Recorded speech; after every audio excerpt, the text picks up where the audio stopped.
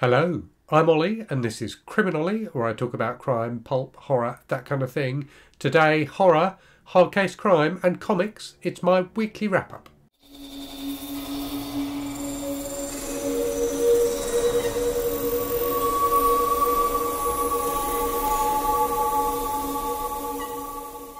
So this has been the final week of Horror Mayhem, the fantastic horror-themed reading event created by the Bookish Brothers. So naturally, I've read some horror this week, but I've also read a load of other stuff, and I felt like I think I felt like I burned myself out on horror a bit. Last week, I only read horror, uh, and it felt like it got a bit too much. So this week I've ended up reading a load of other stuff as well, particularly some crime stuff, uh, which I've really, really enjoyed. I've read a lot of stuff this week, partly because I've read some comics. So I will go through what I've read in order. Um, and talk to you about each thing and, and talk to you about kind of how my reading went, uh, my reading week evolved. Um, I'm now up to um, 69 books on my Read What You Own challenge, where I'm reading 100 books I already own before buying the new ones. Um, so that's nice. So nearly at the end now, and I'm I'm fairly confident I will finish that in June. Um, I've got a bit of time off work in June, so I think I'll get a, a good amount of reading in. Um, and I'm really getting into comics at the moment as well, which which helps get through stuff more quickly. Um, so let's talk about what I read then. So for Horror Mayhem, for the classics week in Horror Mayhem, which was kind of week three, but it, it, it kind of trickled over into week four, uh, I read Invasion of the Body Snatchers by Jack Finney. So this is, as I think I said in my video last week, weirdly like a 70s like reissue of the book that changes a few things to to bring it up to date so changes like the models of cars and things like that um, I enjoyed this a lot, but I did feel like the movies spoiled it for me a bit. So I've seen, um, I've seen the original fifties movie, I've seen the seventies movie, and I've seen the I think it's the nineties version that Abel Ferrara made. Um, and there's not really many surprises in the book, apart from the ending is a bit different. But it's it you know it follows the same basic plot.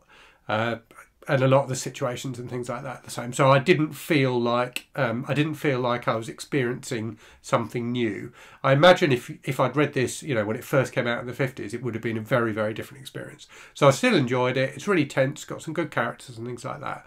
Um, but I didn't I didn't love it quite as much as I expected to. Um, Another book I didn't love quite as much as I expected to was this one, which I read for Contemporary Week, uh, so this is we are hurt each, uh, we are here to hurt each other by Paula D. Ashe. So this is a collection of short stories. I'd heard really good things about it, and it was a, it was a weird experience reading it in that it feels like a book that is very very well written. Um, I really do think this is a well written book, and in particular, Paula D. Ashe has stories that are very different in terms of style and settings and things like that, and all of them work. So it feels like she is an accomplished writer in terms of being able to turn her hand to different kinds of things. And some of the stories in here are, you know, really creepy and, and disturbing as well. But it was a book I didn't really feel like I gelled with. It, it didn't, for some reason, it just didn't quite work for me. I could tell it was well written, but I didn't particularly enjoy it. Um, so yeah, not a not a fantastic experience for me. Um, after that, then I finished Road of Bones by Christopher Golden. So this had been the uh, book club pick for my book club this month, which I run with my patrons and channel members. Um, I really like this. This was really fun, and and uh, kind of the opposite of We're Here to Hurt Each Other. I'm not convinced Road of Bones is that well written a book. Um, it's quite formulaic, um, and it's yeah, it doesn't do anything particularly original. The characters are fairly two dimensional. You know, there's nothing and, and fairly stereotypical as well but I had a great time with it. I really, really enjoyed it. It's just a really fun, fast paced uh, horror book. He does, uh, Christopher Golden does like action scenes really well. There's some really good set pieces. It starts with a fantastic action set piece and he just kind of continues with that. There's some reasonably interesting ideas. There's some creepy monsters. I just thought it was a really, really fun read, and I really liked the central two characters as well. So enjoyed that a lot. Um, after that, um, another kind of lighter horror book, one I didn't enjoy quite as much. That was Island Red by Matt Serafini. So this is a um, this is a book about this this teenage boy who goes to stay. So his parents are divorced. He goes to stay with his dad, who lives on this island. um, off the coast of Florida, I think. And it's spring break, so there's kind of spring break stuff going on. But there's also been like a meteorite or something like that that's crushed in the ocean nearby, and it's infected this shark. So there's this like crazed shark going around killing people. So it sounds like a really, really fun concept, but I just didn't get into it for some reason, and I found it's one of those books where I just found my attention drifting as I was reading it. So I definitely didn't enjoy it as much as uh, as I expected to. I did think that the two central characters, the dad and the son, were, were really well done, and I enjoyed reading them. But I didn't enjoy the kind of horror stuff, um, which is kind of really over the top and B movie ish. I didn't enjoy that as much as I was expecting to. So that was okay, but but not fantastic. That kind of took me into um, the bank holiday weekend, and, and in particular the bank holiday. So it was a nice sunny day here for the the end of May bank holiday. So I think it was Memorial Day or something like that in in the US as well. So you had a public holiday there too. Um, so I spent most of that that extra day off work, sitting in the garden, chatting with my wife and, and reading. And, and I read a load of like comics and things like that, which I really, really enjoyed. So I read, um, I've hidden it under something else. I read uh, Phantom Pilot, which is a commando comic. Um, this was this was just fun, a fun a fun read where basically there's a son in the fighting as a as a fighter pilot in the Second World War, whose dad was a pilot in the First World War, and there's a kind of a bit of unfinished business and a bit of spookiness going on. So that that was a fun read. Um, I then read a um, a weird, slightly weird, very British horror comic that I picked up um, like super cheap uh, digitally ages ago called uh, so, so it was the Scream and Misty special from 2017. So Scream and Misty were two horror comics which I think both ran in kind of late 70s and 80s. I might be wrong there. Scream was more of a kind of traditional horror comic. Um, Misty was like a horror comic aimed at female readers, so kind of more kind of gothic romance style of horror. Um, and this was is, is is a tradition in the UK um, and I don't know if it is in the States as well. We do like specials, sometimes in the summer, sometimes and like annuals at Christmas time as well, where you get characters from uh, you know, kind of long running stories who will just have like a little short story about them in, in a comic, and you'll get an anthology comic that's got a few different characters in it. So that's what this Scream and Misty special was. Um, I think the problem for me was I didn't know the characters. So these were all established characters in short stories, and I didn't know any of the characters or the situations, you know, the setups and things like that. So it was like a reasonably entertaining read, but I didn't, I didn't love it. Um, after that, then I read uh, Men's Adventure Quarterly uh, issue eight, uh, the uh, Heavy Hitters edition, which features Hitmen. So I love these Men's Adventure Quarterly uh, magazines. I think they're fantastically well done. Uh, this one edited by Robert Deis and Bill Cunningham. Um, so reprinting, as I've said on the channel before, they, they reprint um, stories and articles and uh, like adverts and things like that from old men's adventure magazines from kind of the 50s and 60s and 70s. So this one, all about hitmen. So there was a couple of articles in there. So there was one about um, Bugsy Siegel um, and one about Al Capone, which was quite fun. And then some really good stories as well. So there was a great story about a female, uh, like female assassin, which I really, really enjoyed. That was the final story. Um, just packed with fun stuff. And really um, one of the things I particularly enjoyed in this issue let me find some um, was some of the reprints of old vintage adverts. Um, some good articles like modern articles as well about um, like different paperback writers and, and, artists and things like that. I'm now struggling to find any of the adverts. Um, bear with me. I'm terribly unprofessional. Here we go. So this is a particularly good one. So this is uh, you can send away and get various bits of fake facial hair to, to stick on uh, and make you look more manly. Um, so yes, very, very, very, peculiar. Uh, some of these adverts, but I just love. I just think they've got a real kind of vintage charm. Um, so yeah, enjoyed that a lot. Um, after that, then more comics. So I read. I read a few things on, including the the Scream and Misty thing. I've been reading stuff on my Bigme Ink Inknote Color Plus. That's a bit of a preview of something I'll be talking about later on in this episode. Uh, so Saga Volume 3. Um, so the the first thing I read after the Scream and Misty annual was uh, Judge Dredd: The Complete Case Files, Volume Five.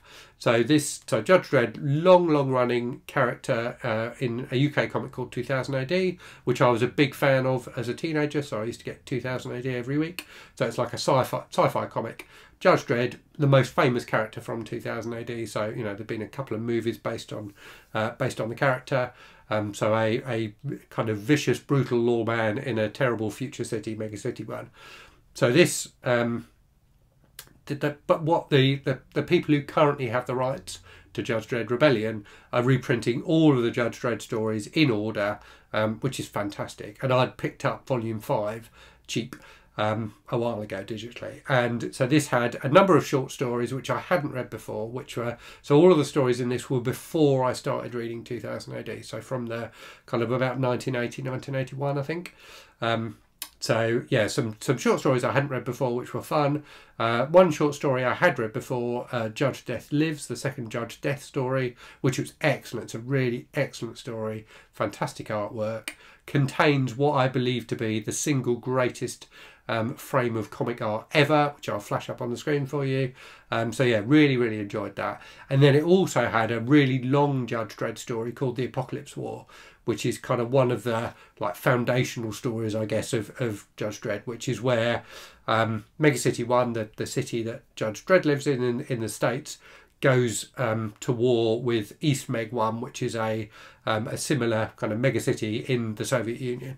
Um, so it's about um, like a, a, nuclear war between those two cities, and it was just fantastic. It was really, really well done, like super, super eighties in terms of it being about you know a war between America and the Soviet Union.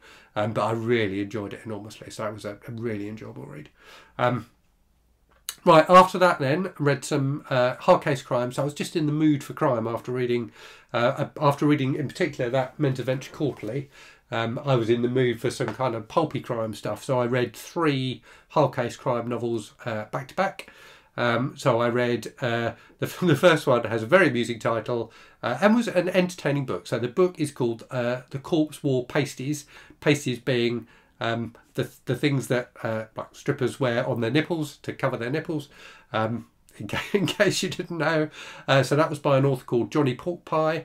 Um, so Jonny Porkpie is a a performer in uh, like burlesque shows in, in New York and has written, I think, just this one novel. I think he may have written some other books about the burlesque scene, but he's just written this one novel which Hardcase published, which came out a few years ago, and it was really fun. So it's about a um, a burlesque performer who who dies by on stage during her act. part of her act is to drink some fake poison, but someone's replaced the poison with real poison, and she dies on stage. Um, and the main character, Jonny Porkpie, um, is like investigating it because the, the cops think that he did it. So so he's trying to figure out who the actual murderer is. Um, so a fairly standard setup. It wasn't a fantastic mystery, but it was written with a lot of humour and um, like very very funny at times, very silly at times, and and you know interest. It's always interesting reading reading a book set in a world you don't really know anything about. And I know nothing about the burlesque scene at all, so it was really interesting reading that. So enjoyed that a lot. Um, after that, I read an older hard case crime novel. So this is one that I think must have been written in the 50s, but I don't think was ever published until Hardcase picked it up. So this is a book called uh, Honey in His Mouth by Lester Dent. So Lester Dent is a pulp writer from the kind of 30s, 40s and 50s. I think he died in the 50s.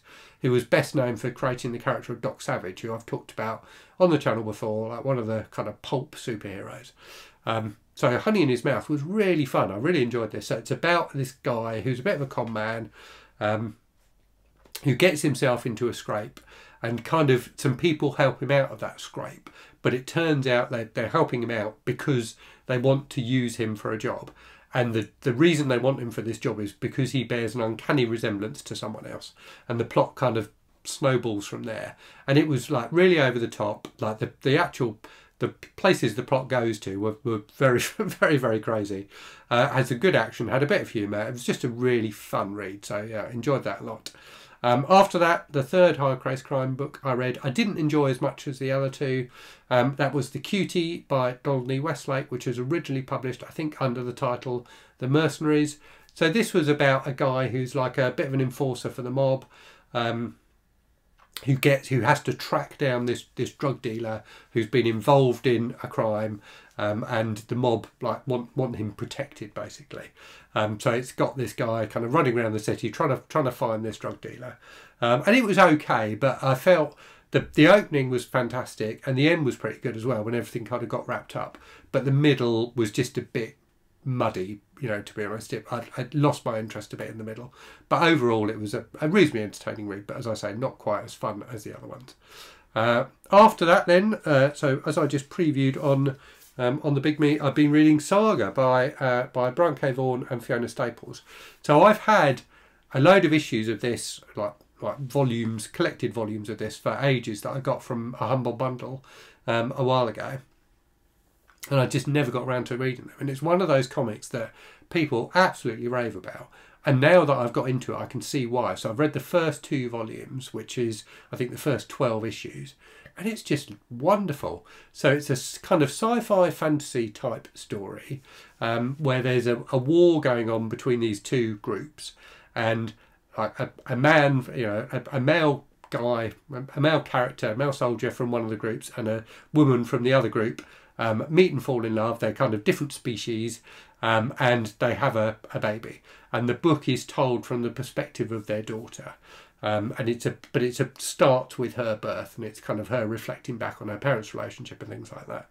So it's that kind of trope of you know people from two sides of a war getting together is like kind of a cheesy one, but the the book is just so well done. Um, fantastic artwork. Um, the story is is wonderful. It's really moving at times. It's it's very funny at times. It's really exciting. There's loads of action. There's some great kind of sci-fi concepts. It's just a really really fun read. I'm enjoying it enormously, um, and really enjoying the experience of reading it on on this device as well. So it's kind of the the way these e-ink color screens present color is a little bit muted to, to put it mildly, but it works, and it's just it's just been really fun reading it. So yeah, enjoying that a lot. Um, and then I'm also reading on that, so currently reading the first volume of the newer releases of the Teenage Mutant Ninja Turtles series by IDW. So, um, and I'm forgetting now, I think it's Kevin Eastman from the original duo who created TMNT who's involved in this newer series, but it goes back to the origins of of like Splinter and the Turtles, and it's just fun. It's just a fun, fun read. So I'm doing um, a buddy read uh, of that with one of my viewers, Adam, um, which has been very entertaining. So um, again, that was in a humble bundle. I've got like I think 12, 12 volumes of it, and I'm slowly working my way through volume one. We've we've agreed to do like one volume a week. So yeah, enjoying that, uh, enjoying that a lot. Um, haven't read the Turtles for like years and years and years. Um, but yeah, enjoyed them when I was a teenager and, and, enjoying them again now. So it's been quite a fun, kind of nostalgic week for me, and I've really enjoyed getting back into comics again. As I said, I think I will continue with with reading comics through June uh, and hopefully get through that Read What You Own challenge in June. Right, so um, in terms of actual books, I'm not reading anything at the moment. So it's June the 1st now. I need to start something for June on the range. I think I'm either going to start one of the Black Horse Westerns that I've got or The Chisholms by Evan Hunter. So either one of those, not sure quite which one yet. Um, right, so in terms of channel stuff then, um, so in the last week you've had my review of the Kobo Libra Color, which I've been reading on this week and, and really enjoying. Um, you've had my kind of an update video on my plan, my attempt to give up using the Kindle ecosystem. Um, you've had my TBR for June, where I talk about some of the westerns and things like that we're reading in June, and you had my review of uh, Flicker by Theodore Roszak, a book that I've become absolutely obsessed with. Um, in the week ahead, then you've got a video I've done about um, Stephen King and how he has managed to be such a successful writer for such a long time. So Carrie came out 50 years ago and he's been like just consistently successful throughout that 50 years, which is kind of mind-boggling. I can't think of many writers who've achieved, you know, who've managed to achieve such longevity. So um, I've made a video about that. Um, I will be doing my wrap up for May. Um, uh, I'm going to do a video uh, review of the book uh, Eat Them Alive by Pierce Nace, which I talked about on the channel uh, in one of these wrap ups recently, which is the most bizarre, unhinged book I've ever read. Um, and I think I'm also going to do uh, a video about 10 classic books which are actually fun to read.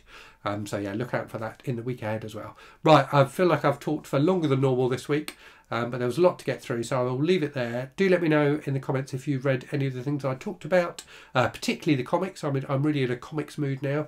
Um, and uh, as always, thanks very much for watching. Hope you're safe and well out there. Hope you're reading good stuff, and I'll speak to you again very soon. Cheerio.